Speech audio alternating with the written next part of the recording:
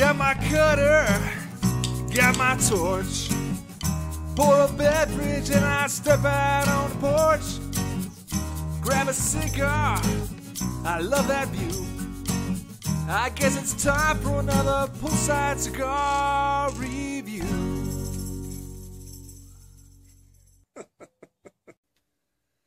How you doing, everybody? Welcome back to another edition of Poolside Cigar Reviews with Kirk. Tonight I'm coming at you with a weeknight format. However, believe it or not, when I'm filming this, it is Saturday night.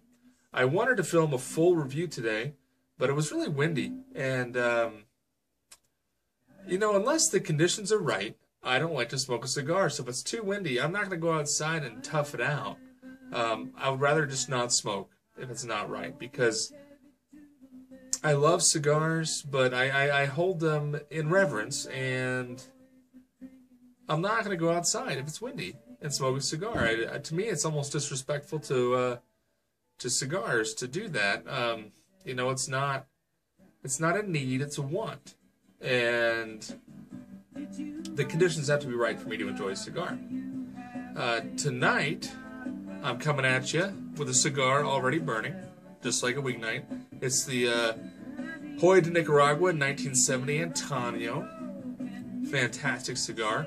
I've uh, I've featured it on weeknight editions before, but I've never done a full review. I may or may not. I'm sure someday I'll get to it, but um, it's a fairly straightforward cigar. Not a lot of transitions, not a ton of depth, but great flavor. Um, you know, it brings it. It's a go-to cigar for me.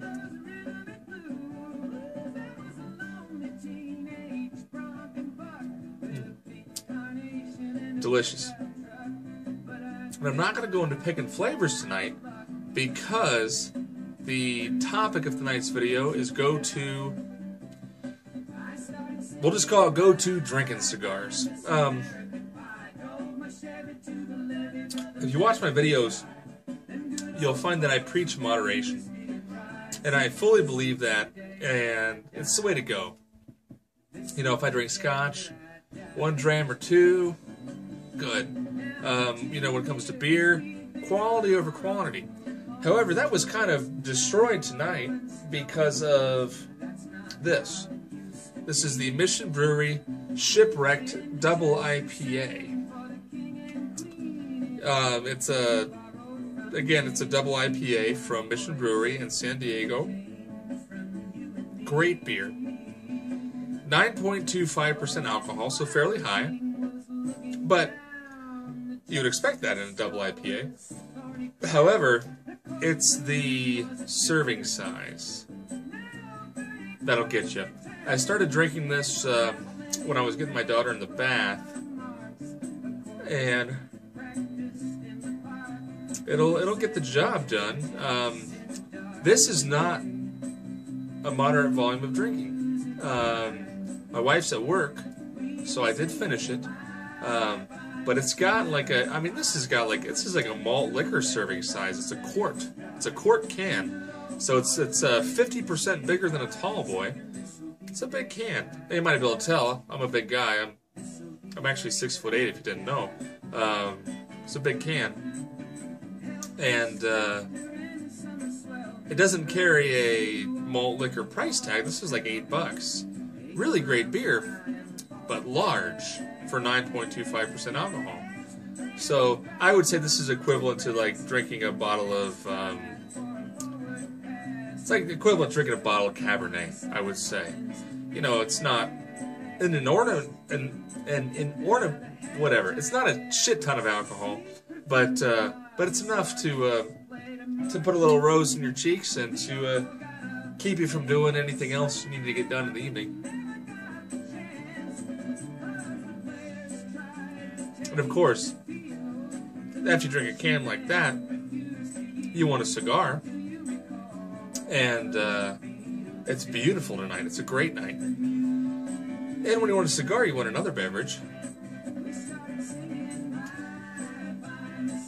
So I grabbed the Black IPA from the Santa Fe Brewing Company from our pals in New Mexico. How cool is that?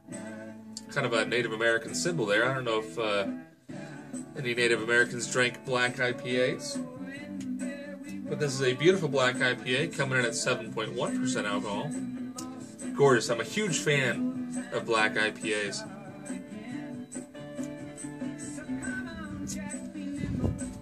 And I'll go ahead and pull that full circle to this uh, JDN Antonio 1970.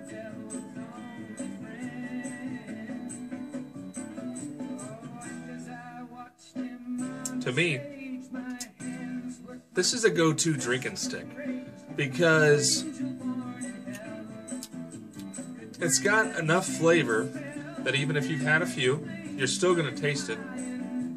Especially if you're drinking IPAs. You know, IPAs aren't generally a great pairing beer. They're very strong, very bitter, and they, to me anyway, they tend to fry my palate. I mean, after you drink a quart of a double IPA, that's a lot of hops. That's a, that's a lot of bitter.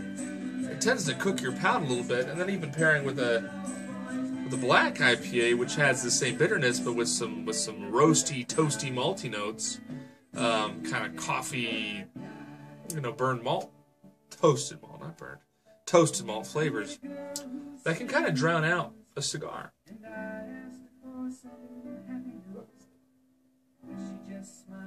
However,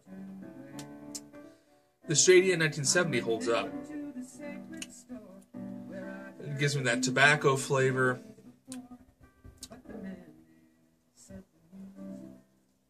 A little bit of cocoa, maybe. It's very hard to tell.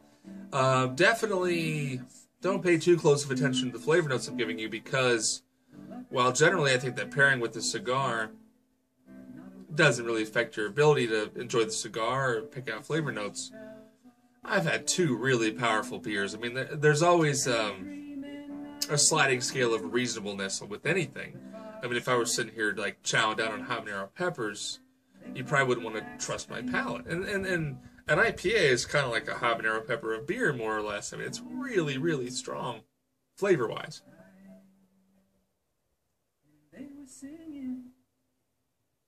Sorry about that. My phone rang.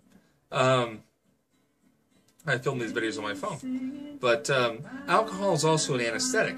So when you're drinking, if you're drinking a lot, it will anesthetize your tongue and prevent you from tasting a cigar. But again, moderation will take care of that. But um, but to me, this JDN is a go-to cigar if I've been drinking.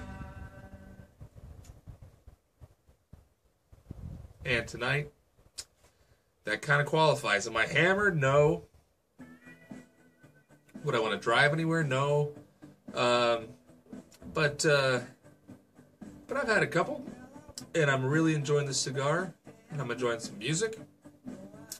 It's a pretty good night. So I just wanted to check in with you guys since it's been uh, been a little while since I put up a video.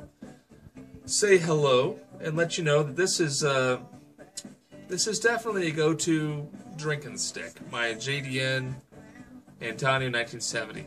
Love it. Great cigar.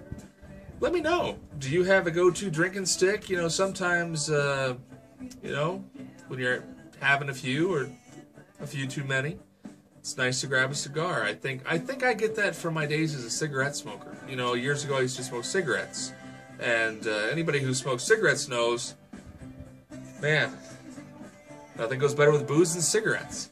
And uh, while I certainly don't feel like I have an addiction to cigars, actually, I know I don't have an addiction to cigars. Uh, if I'm having a few brewskis and I'm starting to feel a little bit of a buzz, I definitely, I definitely start to crave a cigar. So let me know. What do you go to if you've been drinking? Anyway, everybody, it was great talking to you. I love stopping in, saying hi. And uh, I hope all of you are very well, and I hope you're having a fantastic weekend. And I can't wait to hear from you. So uh, until next time, everybody, keep your feet in the pool, a drink in your hand, and a cigar in your mouth. Take care.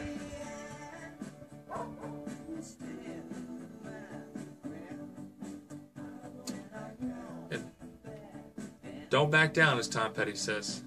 Have a good one.